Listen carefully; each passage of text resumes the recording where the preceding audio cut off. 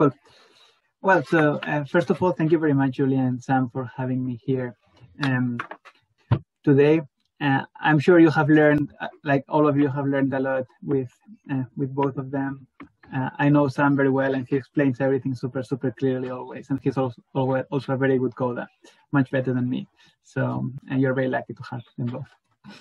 But um, what I'm doing here today is basically showing an exemplar presentation, an exemplar study of how R can be used for different research purposes in, in criminology, and also to make a critical point about the use of police data, for instance, um, to, to explore crime-related research questions.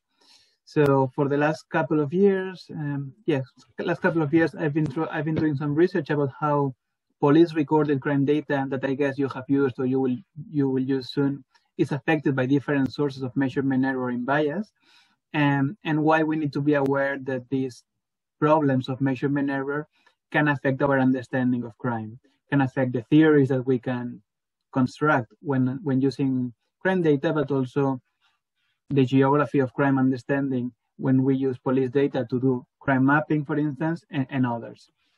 So although police data provides very valuable information and it's very easy to access. For instance, in the UK, we have APIs and open access data we can just download and put on the map. And we need to be aware that this type of data is affected by some sources of bias and some sources of measurement error that can affect our results. And so that's what I'm trying to explore here. So the title of the presentation is Assessing the Impact of Measurement Error in Crime Data. And I present two applications that we have done. One trying to understand how this measurement error that, um, that affects crime data affects the results of regression models when we use police recorded crime data as a dependent or as an independent variable, and the other one, how it affects the geography of crime and crime mapping when we use police data for, for, for geographic crime analysis. This presentation has been co-authored by many, many people from different universities. One of the papers presented have also been co-authored by, by Sam Langton and, and others. So the overview of the presentation is, I will explain a little bit what do I mean by, by bias in crime data, why we say that police recorded crime statistics are affected by measurement error, and which sources of measurement error are involved in this type of, uh, of problems, how it affects crime analysis uh, in practice, but also in, in theory, in research, um, two research questions that we will be addressing today, and how we have addressed those questions using simulation studies. So let's start from the beginning. What's crime statistic? Crime statistic um, recorded by the police is any crime that have been reported to or recorded by police forces and that they make it public for, for anyone to research um, and analyze it in, uh, for different type of purposes. Uh, so we know that police recorded crime data used by police forces to design and evaluate policing strategies. So for instance, they decide where to locate more police patrols based on known police records, but also for policy making. The police designs and evaluates crime prevention policies based on police statistics, and we know that, and but also by academics, like researchers make daily use of police recorded crime data to develop and test theories of crime and deviance. So we need to be aware that um, if we're using this type of data for so many different uh, purposes, and we need to be aware of all types of measurement error that affect this data and how it can affect each of those different outputs. So we know that police statistics are affected by different sources of measurement error. To mention only three of them, not all victims are equally willing to report crimes to the police. So we know that this changes depending on, on the gender of the victim, the sex of the victim, and ethnicity, age, the um, perceptions about the police of victims. So we know that victims that do not trust the police will report their victimizations less less frequently. But also, we'll know that the police don't, con don't control every single area uh, equally. The police locate more, more patrols in some areas than others, and therefore they are more likely to witness crimes when they, when they happen in some areas than others. and also counting rules. We also know that uh, for example, in England and Wales, now there are some common counting rules that should be used by all police forces, but that's not the case. We have several reports published by uh, HMIC um, saying that some police forces follow some counting rules different than others. And therefore, in some police forces, um, measurement error can also affect crime data in a different way than in others. All this affects what we understand as the dark figure, what we call the dark figure of crime, which is all police, all, crime data that is not recorded in official statistics of crime. However, this doesn't necessarily need to be a problem if all areas or all victims or all local authorities, whatever level of analysis we're using, uh, suffers the same amount of missing data. So if the proportion, the, the likelihood of a crime victimization being reported to the police is the same for every single individual in society, then our analysis will not be affected. Any of our analysis will be affected by measurement error. But if some victims report more than others, or some, some areas report more than others, or some regions report more than others, then all our analyses are likely to be affected by these differential sources of measurement error affecting some places or some individuals more than others. So that's what we try to address this uh, here, how this differential measurement error affecting some individuals or some victims more than others and some areas more than others affects our understanding of crime. So this is a um, very easy to understand representation of the dark figure of crime. So dark figure of crime are all crimes that are not detected or not considered as such by, victims or not reported to the police. While official data would include different sources of data, but we are here exploring measurement error in one of them, uh, which is police recorded crime data. Not only that, but during the last few years, in criminology, there's been a move towards analyzing smaller and smaller levels of analysis.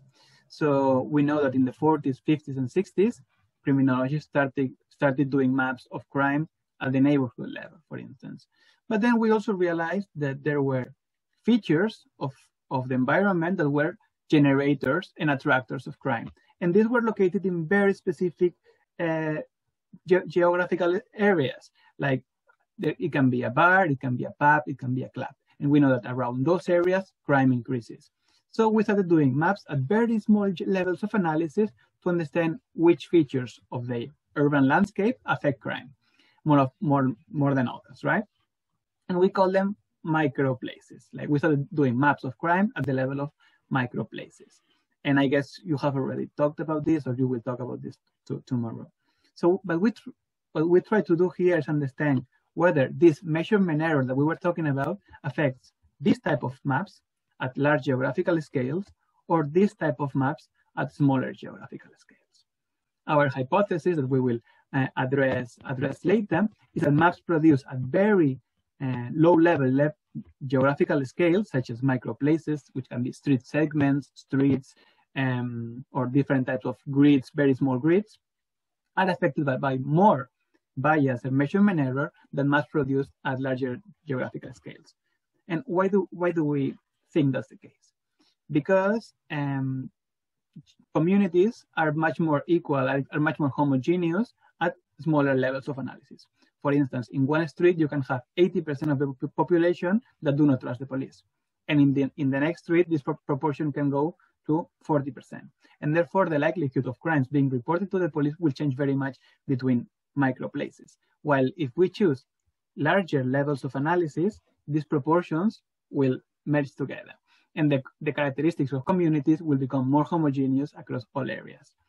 And so we're trying to address the, this, this type of question here. So we theorize or we have hypothesized that the figure of crime may vary very much between microplaces. And so I guess you will use this type of data source tomorrow. In the UK, we have data.police.uk that anyone can access and download police data and produce maps at very low level, uh, low levels of analysis.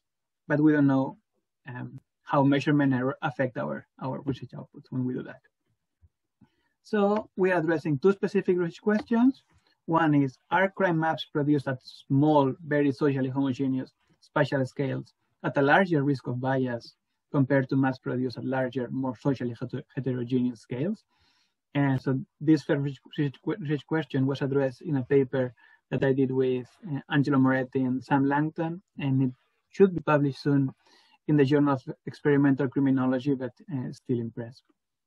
And the second one is to what extent this measurement error that affect police recorded crime data impact the estimates of regression models exploring the causes and consequences uh, of crime. And this is another paper that's now in the review that I co-authored with Jose Pina-Sanchez, Ian Brunton-Smith, and Alex Cernat.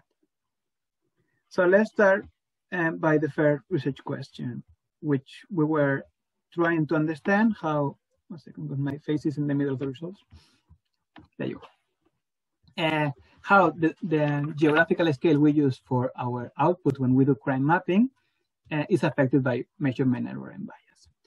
So what we have here is the relative difference. We, we did all this research using simulation studies, by the way, and I can explain later how we simulated crime crime statistics for each, for each case. But I didn't want to spend too much time on that because I wanted to just explain the results for, for now. But we can address them later if you have questions.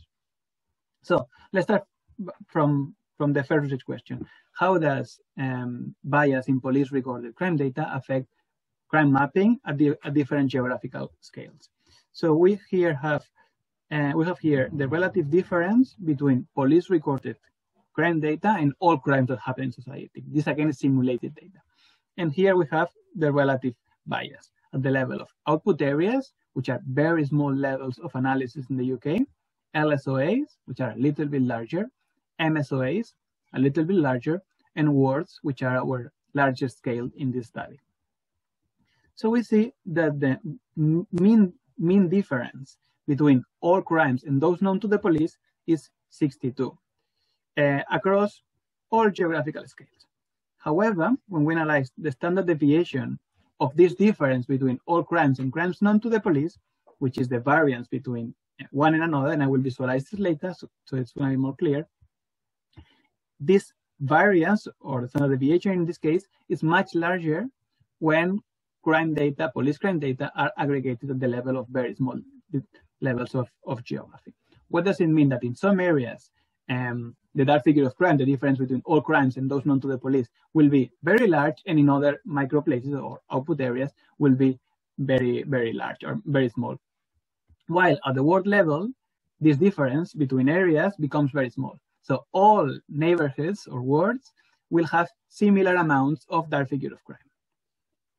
And this is visualized better uh, here. By the way, uh, Sam did this visualization, it wasn't, it wasn't me.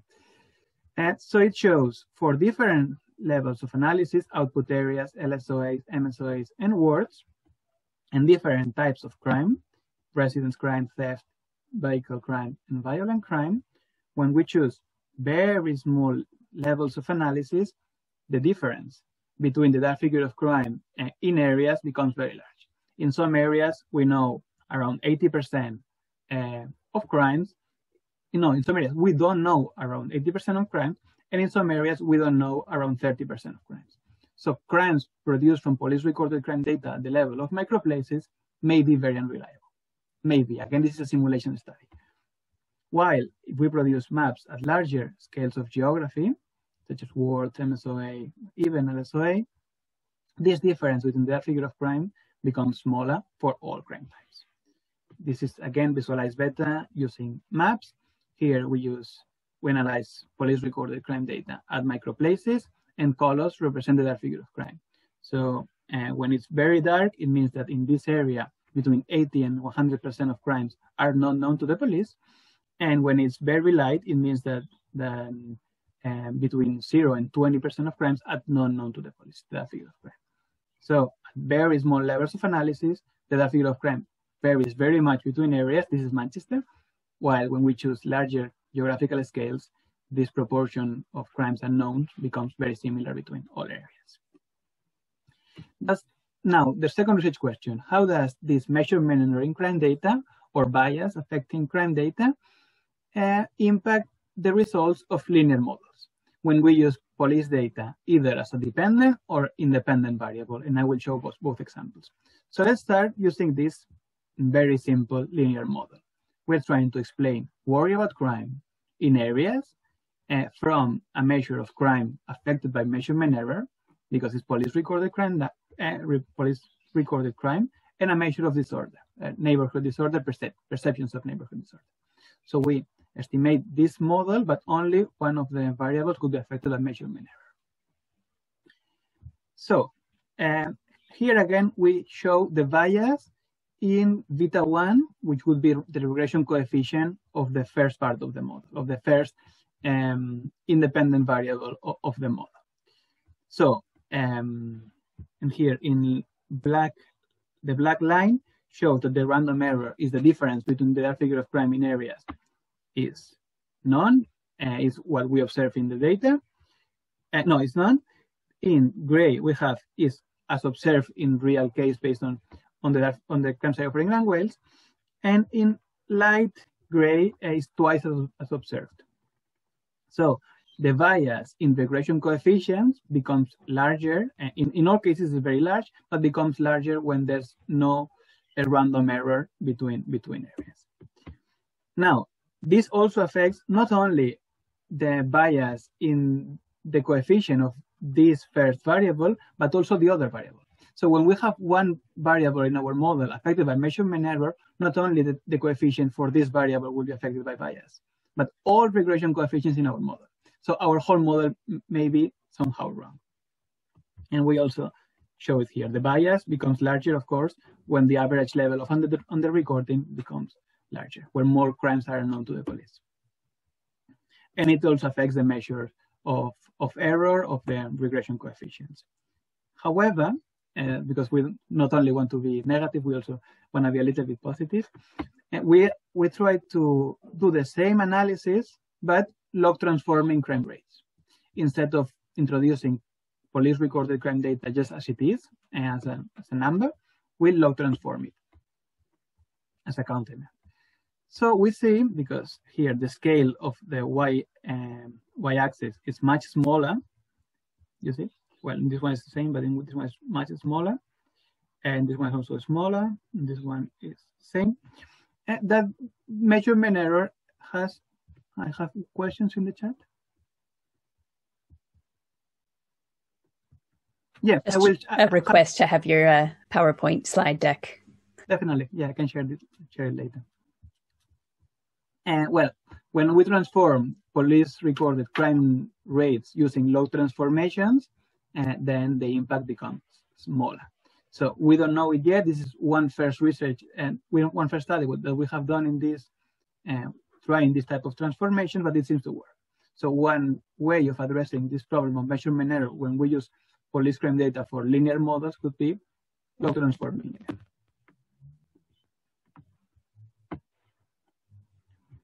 But we can also use crime data as an as an independent variable, right? So here in this in this case, we are trying to explain crime affected by measurement error using measures of worry about crime and perceptions of disorder. Again, regression coefficients when our dependent variable is affected by measurement error go over the roof when the, that figure of crime becomes larger. However, if we log transform again the measure of crime, um, this this the impact of measurement and regression coefficients becomes much smaller in every single case. Not when we analyze the the error of the coefficients, but when we estimate the coefficient, and these are in most cases uh, not affected by measurement error. So again, log transforming crime rates can be a good practice if we use police data for, for linear models. Some conclusions of these two papers. Um, we have seen that aggregating crime data recorded by the police at very detailed levels of analysis can increase the risk of producing inaccurate maps. Um, and while producing maps from police recorded crime data at the level of neighborhoods or larger scales may show a more accurate image of the distribution of crime in, in geographies. Um, from the second paper, we can say that linear regression models that use police recorded crime rates are biased. We can say that. Uh, but this, this bias may be mitigated if we log transform crime, crime rates. So these two papers are published for now as preprints. And the second one, the one about geographical analysis of crime, will be published soon uh, um, in the Journal of Experimental Criminology. And all our codes are available on GitHub. So you can log in, see what we have done, reproduce it in other in other areas and so on. So for instance, uh, in this one, no, this one, you can access our GitHub and see the codes that we have used and also recycle them for other purposes. And so this would be the, the maps that we used. The, the, sorry, the code that we used. You can access them and reproduce everything in our in your computers. Uh, yeah, so that's all for for today. Hopefully, it's been interesting.